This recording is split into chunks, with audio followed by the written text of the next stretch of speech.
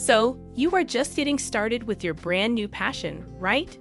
Who knew that there was a whole community and universe devoted to writing implements like pens and pencils?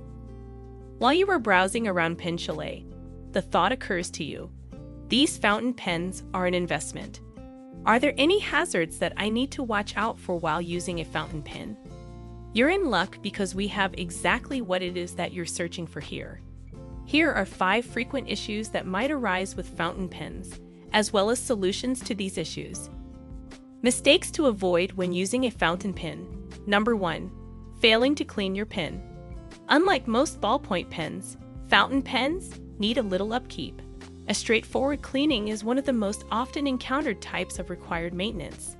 If you don't clean your fountain pen regularly, the ink might dry up in the feed, which can cause it to get clogged.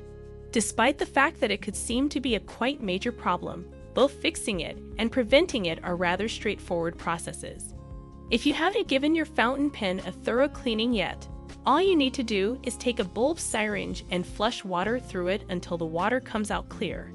Check watch our video on how to clean a cartridge slash converter fountain pen if you are unclear how to clean the inside of your fountain pen. Mistakes to avoid when using a fountain pen. Mistake no. 2. Writing with too much pressure. Writing using a fountain pen requires very little pressure, if any at all. This is one of the many amazing advantages of using a fountain pen. In point of fact, writing with an excessive amount of pressure may cause a nib to take on an appearance similar to the unfortunate individual seen to our right in the photo.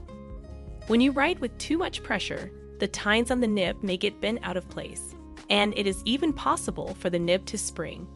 A nib is said to have sprung when it has been raised off of the feed as a result of a bend in the main body of the nib itself. It is important to keep in mind, however, that in order to do this kind of damage to a nib, a respectable amount of power is required. If you are afraid that you may be using too much pressure when you write, write with a mechanical pencil that has a lead size of 4 or smaller until you are certain that you won't break the lead. This will help you determine how much pressure you use when you write. Mistake number three using the incorrect ink when writing with a fountain pen. The fountain pen itself is probably not the most interesting aspect of the fountain pen pastime. Rather, it is the hundreds of different inks that may be used with the pen.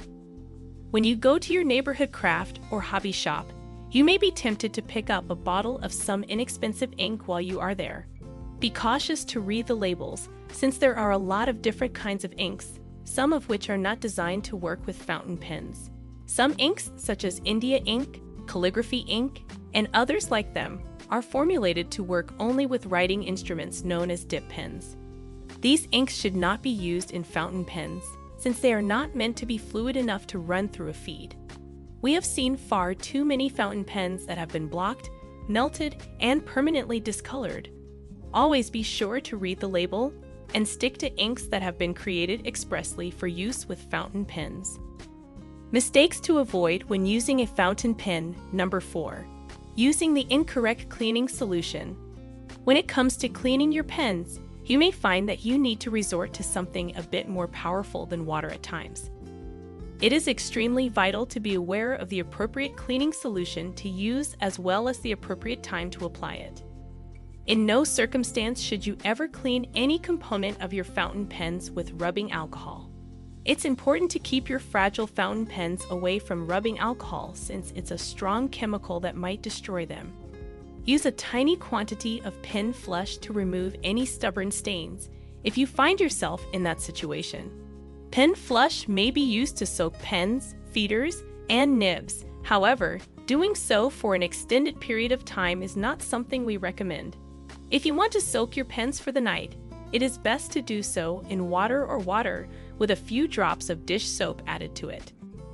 If you want to soak your pens in dish soap, it is best to soak them in water with a few drops of when using aluminum pens. Use caution around ammonia. Because of the chemical reaction that takes place when ammonia is exposed to aluminum, the pens that you have made of aluminum will get damaged. It is important to study the product's ingredient list very carefully since ammonia is the primary component of the vast majority of pen flushes. When it comes to cleaning aluminum pens, we recommend taking the nib and feed out first. In any other case, while cleaning your aluminum pens, you should just use water mixed with a few drops of dish soap. One of the most common mistakes people make while using fountain pens is to not use them at all. Each and every fountain pen is an individual piece of art that also functions. They are the physical manifestation of your ideas as you extend them onto the paper. It is a terrible waste to let beautiful pieces of art collect dust in a drawer, on a shelf, or in a container while they are in storage.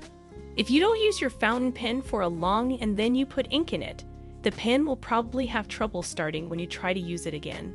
There will be a buildup of dried ink on the nib or in the feed, which will make it difficult for the ink to flow.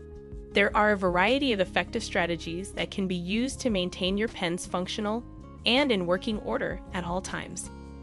One of these methods is to set up a daily rotation of different pens to use.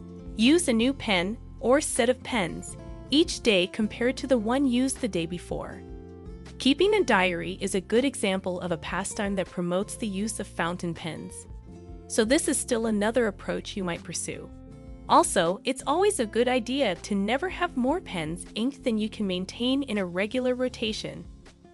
The versatility of fountain pens as writing implements extends to the kinds of inks that can be used and the sizes of the writing tips that may be used both of which are not possible with other kinds of pens. Once you have a basic understanding of how to care for them, they will last a lifetime and provide the writer with many hours of pleasure and satisfaction.